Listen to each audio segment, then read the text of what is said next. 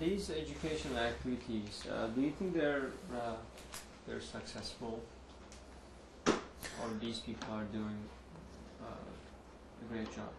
Oh, from my from my experience and my observation, uh, the educational experiences that uh, that Gulen is is backing and, and pushing, and I suppose with the help of of uh, other sponsors in that, I would I would have to say that they must be very successful. Um, another thing that really impressed me uh, in connection with education and also in connection with sponsors, if we can kind of bring these two two things together, I found out uh, after dinner one evening at one of the families, one of the hosts' families, that the the businessman who had us to his home to meet his family and, and so forth, uh, and we shared a wonderful evening with, with him and, and the entire family, uh, that he and his brother sponsor uh, a number of, of students. Uh, and here again, they're putting up uh, a lot of money uh, to sponsor. I believe he said, uh, I don't want to, to misquote him, but I believe he said he and his brother were sponsoring 500 students to go to uh, one of these private schools. And I'm assuming that this is one of Gulen's uh, schools that he has uh, initiated. We didn't make that entirely clear, but uh, that was my impression that it was one, through one of these educational facilities that uh, he and his brother were uh, here again sponsoring that many students each year to, to make sure that they were getting the kind of education they thought was so important. What do you think is driving? Like, what is what is the source? What is the reason? I think there can only be one reason that uh, Gulen and and people who look for him to leadership, look to him for leadership, uh, have to be sold on the importance of of education.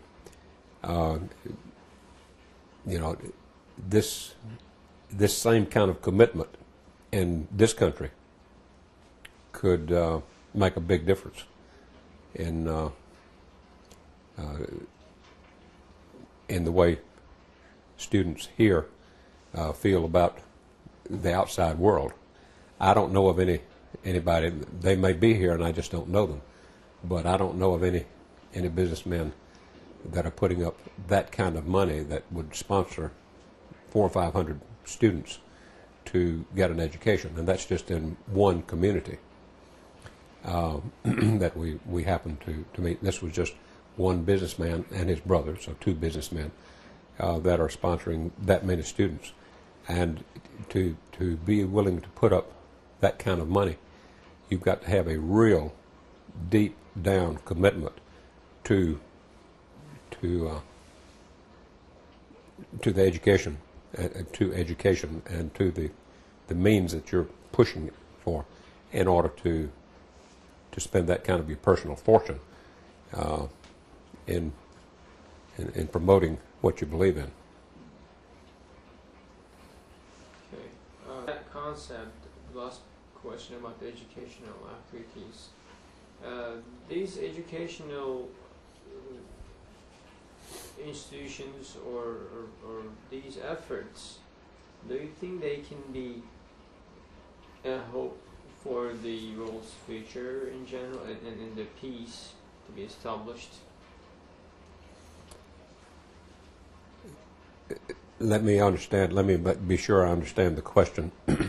uh, do I think that these educational facilities are important? Well, you know, this educational understand or movement or efforts throughout the world, like you said, they, they're not opening schools only in Turkey, so Mhm. they're in many countries now. So Right. Do you think that would be a hope for future?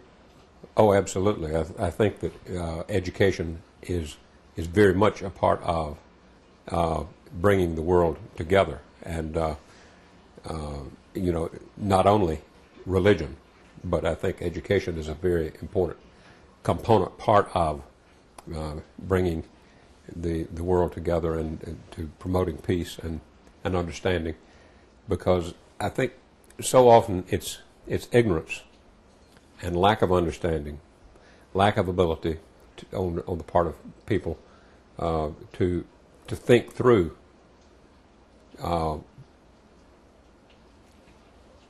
ideas and to, to think about things that are really going to to promote uh, peace between uh, peoples, whether the peace in families, people, or peace between communities, peace between the larger community, countries uh, of, of, uh, of all over the world. And it's only through education that we're going to, to be able to bring about more understanding and, and peace uh, throughout the world. So the uh, the second, the, the third part actually, the dial, the interfaith dialogue, uh, with the connection that um, you you mentioned about kind of uh, the understanding the other, uh, the mutual respect, and, sort of connecting the other people and sharing with them.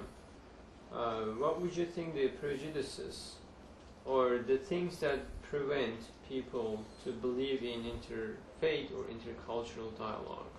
Like what what makes them don't, don't- don't believe in that? I think one of the the biggest problems we've got is lack of understanding. Uh, I, I heard one member of the the leaders of uh, interfaith dialogue say that for for a person to really understand someone else's religion, they need to understand their own and to be firmly grounded in in their own religion before they can be open and understand another person's religion. And it's fear. It, it's not only, uh, for lack of a better term, ignorance, but I think ignorance and fear go together on this.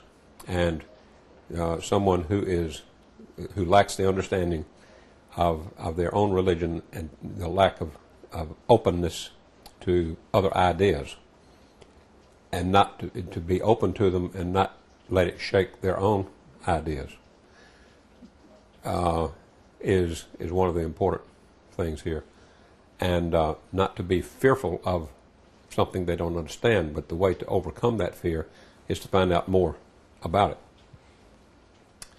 Uh, and I'm I'm very curious uh, about other people's ideas, and you know I, I feel like that our Creator put all of us here on the world, on the earth.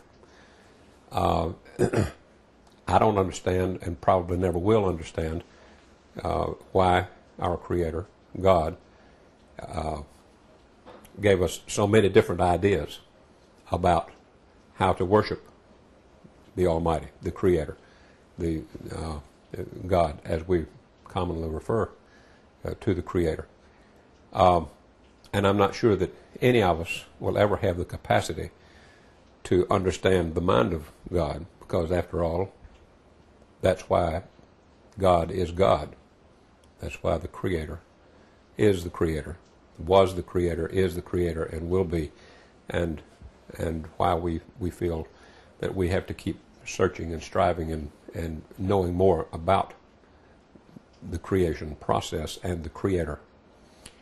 Uh, but uh, you know, it, it's curious that we have these different ideas.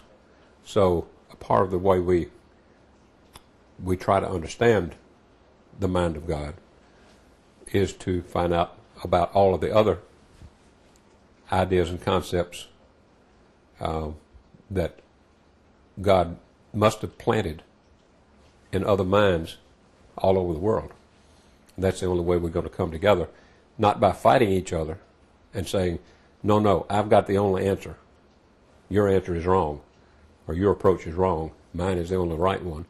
The, the way to, to get closer to the mind of God, I think, is to explore all of these ideas and, uh, and try to come up with, uh, with what's satisfactory for us and what works for, for us and what ultimately will work for all of humankind.